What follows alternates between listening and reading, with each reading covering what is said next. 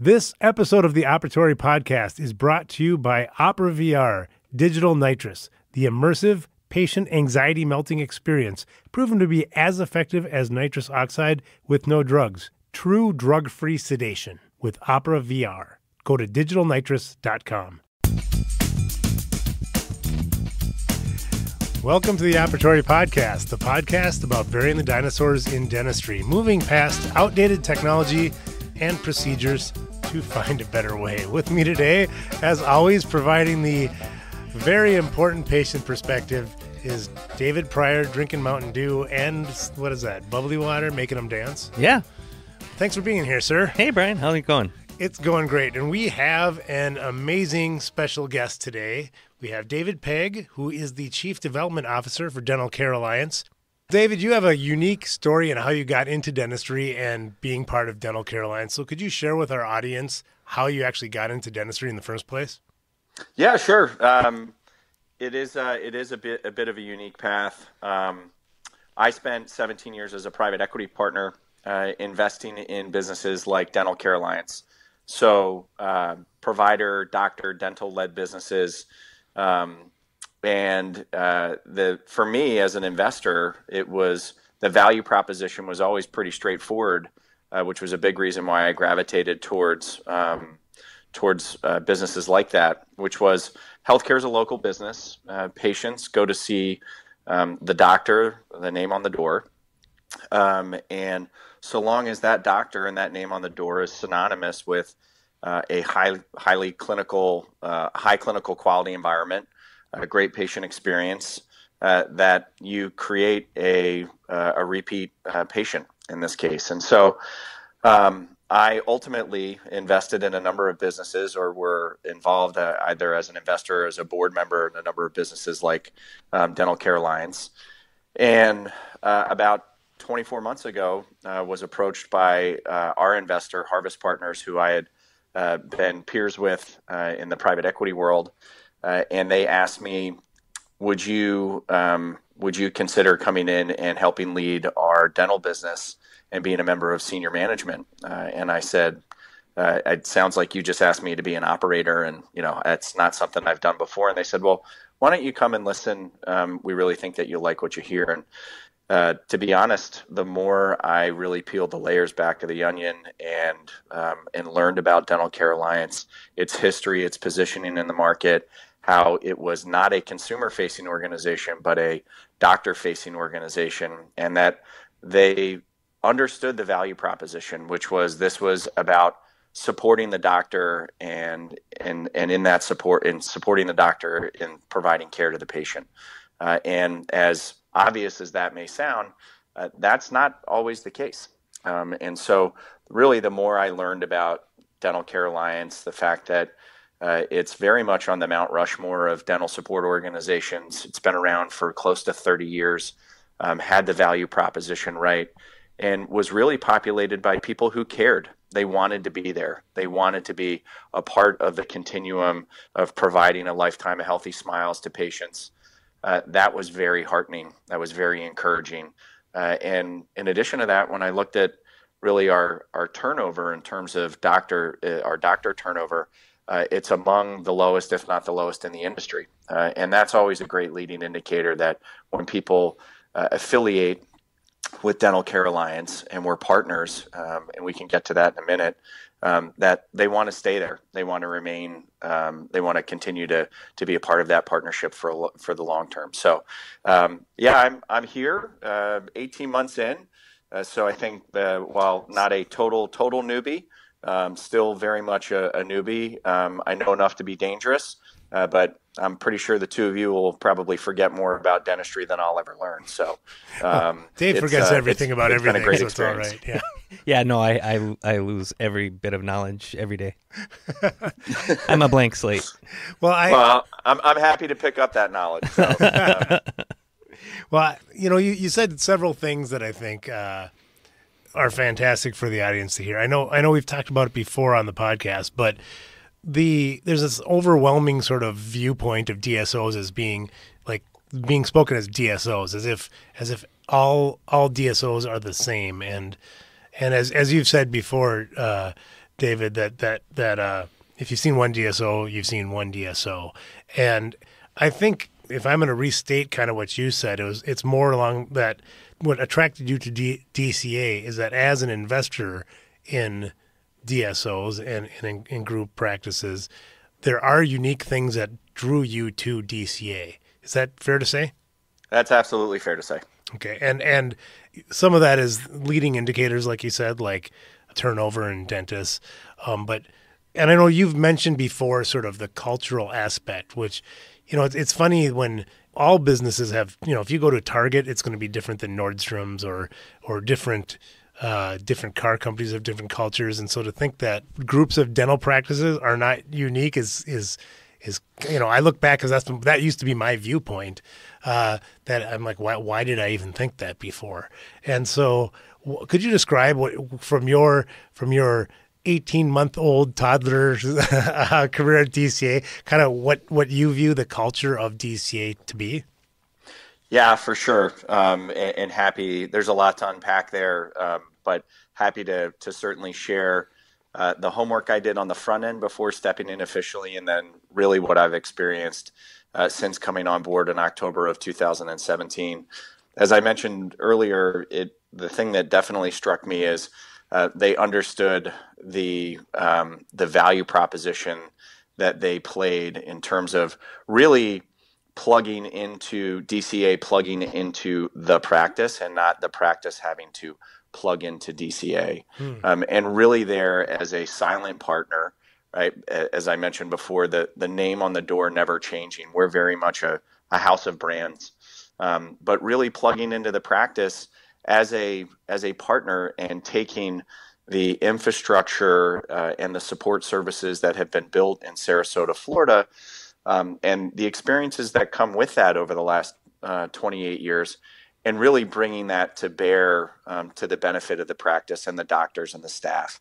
Um, I often use the the phrase that we're there to unlock value that the dentist and their staff may not otherwise be able to do on their own. And if they are able to or they want to try to, it's likely going to take them longer and be a little bit more, you know, there'll be an expensive tuition associated with it because, um, you know, it's not, it's not, I, I think, a, a, a, foreign thought to, to believe that they're not going to get it right 100% of the time out of the gate. And so there'll be a tuition there in terms of a learning curve. Um, we've, we've, we've paid that tuition over 28 years, right? Mm-hmm. We've, we've uh, we've navigated you know through over tripwires and through pitfalls. Um, and so there's a lot of learning that has come with that um, that we can again provide sage counsel to the doctors about how to how do we want to grow right? What's the what's the right growth path? What's the right growth strategy?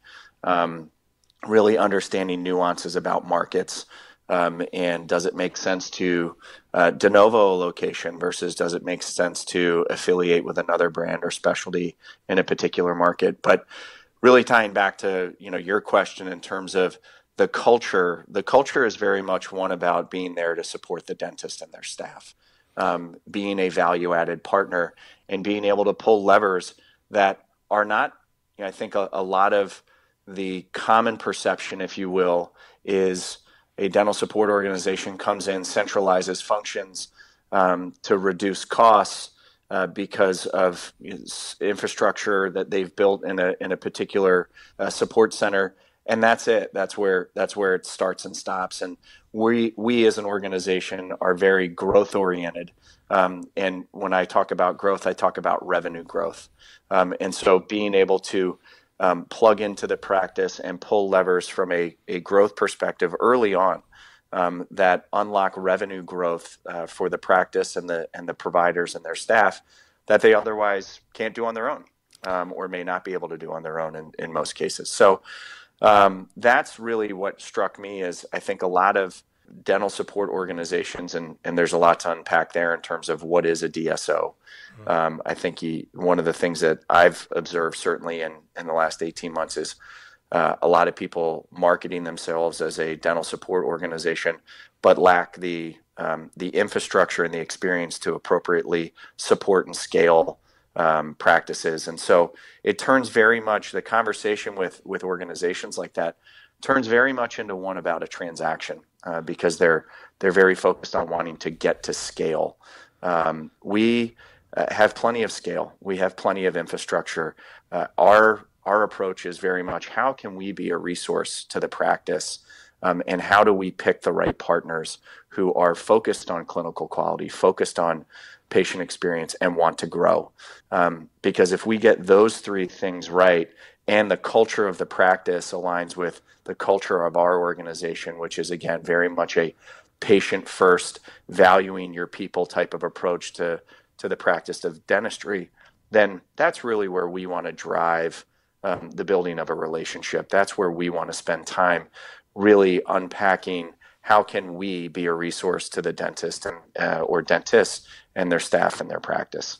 Um, that is what struck me as a real differentiator uh, as it relates to Dental Care Alliance compared to compared to the the the, the DSO landscape at large. So, Dave, uh, this is Dave. Um, so, one you talked about culture quite a bit in there, and from the patient side of things, I, I think that's something that people would uh, really appreciate is going into. Uh, they buy into a culture of a practice, right?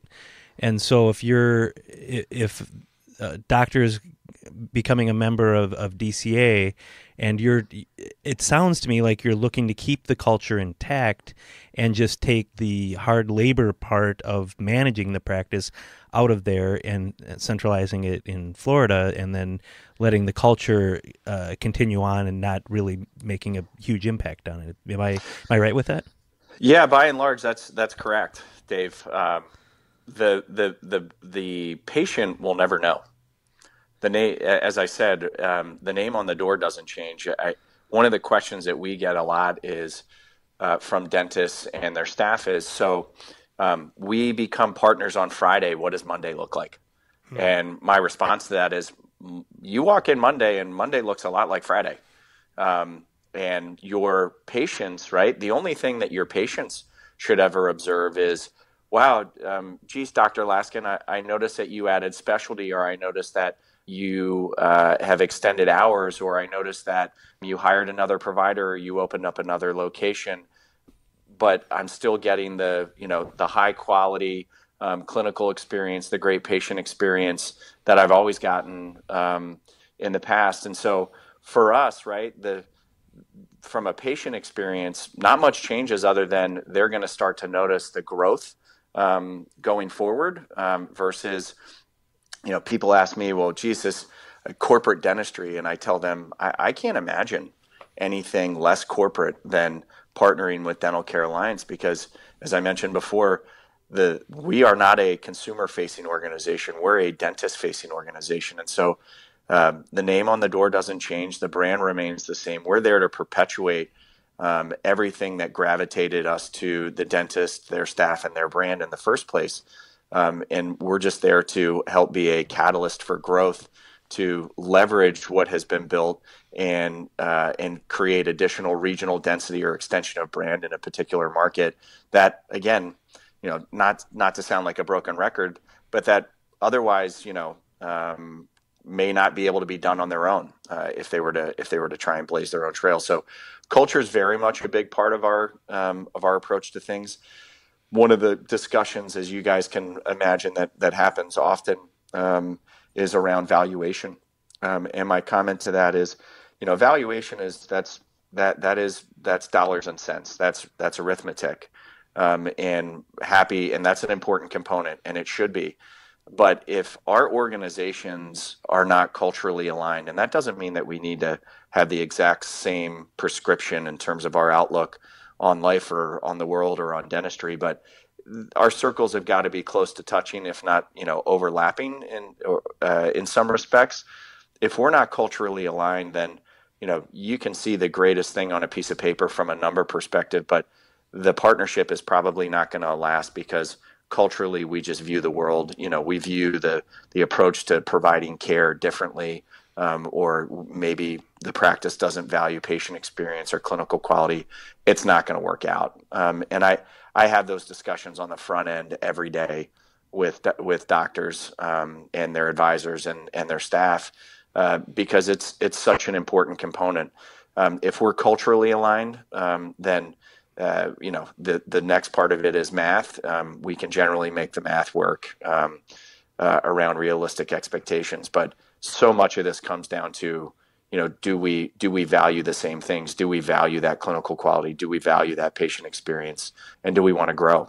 Um, and for us, right, that is such a big part of our culture um, over the last 28 years.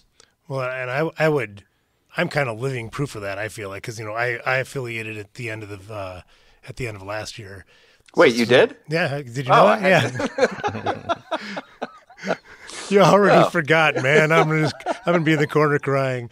But but but you know, I think probably the the happy accident from our podcast is that it was a relatively easy conversation, I think, from my end for sure, because you have my whole philosophy out on the podcast, right? You can all you need to do is go back and listen to Dave yammer on for for, for 15 minutes at a time, and uh, uh whatever. Dave, Dave Pryor, and and and and, uh, and you kind of know how we do things, and so I think it's uh, you know at, at, my practice, and so it was a I was not looking at affiliating with the DSO at the time. Like you said, it was such a good cultural fit, and I saw the upside that uh, I mean that I think, and I've talked about it uh, like when I when we a previous podcast that we did with Mitch Olin from DCA that that the leadership team, the people at DCA, I've been so impressed with, and you know, when you talk about culture, you're really just talking about the people that are there and the way I, I, I view it as the way the people there view the view the world and, and kind of makes them tick, right? And yep. I'm kind of, I think, uh, the quintessential example of uh, uh, somebody joining with DCA because there was a good cultural fit. Because I don't know too many other practices where you can go in and this guy's been well there's probably quite a few. There's a lot of dental podcasts now. But but you know uh, listening to you can get the perspective and and if it doesn't fit it doesn't fit. And i can and i can tell you from being on the other side of of the affiliation that what you said is exactly true. The most shocking thing about affiliating is that it how little things have changed post transaction, right? From the from the operational, patients don't notice a difference, and uh, and it's been such a good cultural fit that there's been really no, there's really been not tension or you know whatever whatever you would think that would go into sort of post affiliation with a with a larger group. So so thank you. No, thank you. You've you have been a uh, you've been a fabulous um, addition and extension of of what DCA represents. Um, again, but you know, I, this all comes down to the culture, right, of what you've created and the culture uh, that you that you represent, that your people represent, and the fact that it was consistent with the culture that DCA um, really looks to embody on a daily basis. And when you find consistency there, it seems to me, right, when you find consistency around culture um, my experience is that everything else falls into place because um, now you've probably solved the hardest thing, um, which is, you know, are we compatible partners? Uh, and if we're compatible partners and we we have a, a similar outlook on um, not just the patient experience and clinical quality, but then the desire to grow, um, that is, I would tell you, you know, more than half the battle. Um, and and frankly, right, those are practices and those are opportunities and relationships that we want to gravitate to and spend time because time, right, more so than even capital, time is our most precious resource, oh, and how sure. we spend it and with whom we spend it is really important. Um, so getting you know these getting these topics out on the table very early on and spending time, I would tell you that's the other thing we are very much a you know as i mentioned a relationship driven organization. Uh, and being able to sit down right with you bryan being able to spend time with you some of the folks on on our team spending time with you right further just reinforced our desire to want to partner with you um, and really support what you you know what you've built and what you want to build going forward uh, in in the minneapolis marketplace. So you know that when we when we see situations unfold like that it gets us very excited and very confident in the prospects for a successful uh, partnership with with a with a dentist and in this case you. So oh, it's well, been it's early but it's been great. Really has. You've been a fabulous ambassador. Well i, I, I appreciate it. thank you. And I, I, I mean and likewise it's been great working with you for sure. And and i i i hope that people who are listening to our podcast can really I mean, this one would be, uh, I think, a good one to take a second listen through because you said a lot of things very concisely that people may have. If you're like, if you're daydreaming for a second, you wouldn't catch on. And I think you also uh, were very gracious when you were talking about other DSOs not being necessarily set up to support people. I think there's just it's very a very hot topic now, just like get a bunch of practices together without having the support system in place. And I know from firsthand experience that uh, DCA is uh, is just uh, just a great organization. So so thank thank you very much, and thanks for being on the podcast. Thank you, guys, Dave and Bryan. Uh, I think you, as I mentioned uh, at the outset, I think you guys do a great job. So, uh, not to uh, again reiterate the uh, the line, but uh, long time listener, first time caller, and hope to be back on again. Well, definitely. And right now, Dave is his head is even a little bit bigger. I don't know if right. that's possible. I think that's because of the Mountain Dew. That's right, exactly. well, thank you very much, Tim. You bet. Thanks, thanks guys. All right, thanks.